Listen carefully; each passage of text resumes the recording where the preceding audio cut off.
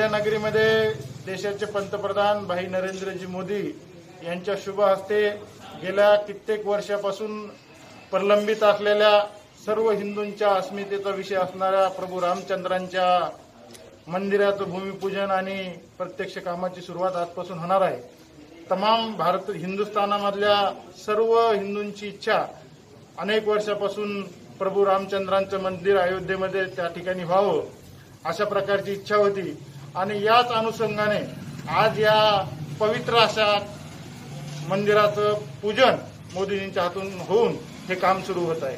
मला आवर्जून सांगावं असं वाटतं की या कामी निश्चित मोठं योगदान असणारे अनेक लोक या संपूर्ण राम मंदिराच्या निर्माणासाठीच्या कार्यक्रमामध्ये देखील परतूर मतदारसंघातून गेलते.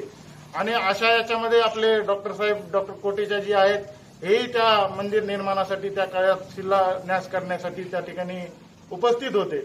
तर मला या अनुषंगाने सांगायचं की तमाम हिंदू बांधवांच्या मनातला असणारा हा प्रभू रामचंद्राबद्दलचा आदर गेल्या अनेक वर्षापासून असलेला प्रलंबित असलेला हा प्रश्न भाई नरेंद्रजी मोदी यांच्या पुढाकाराने हा आम्हाला या पिढीला साक्षात्कार याच ठिकाणी रामलालांचं दर्शन घेण्याचा योग भविष्याच्या काळामध्ये उभा राहणार आहे.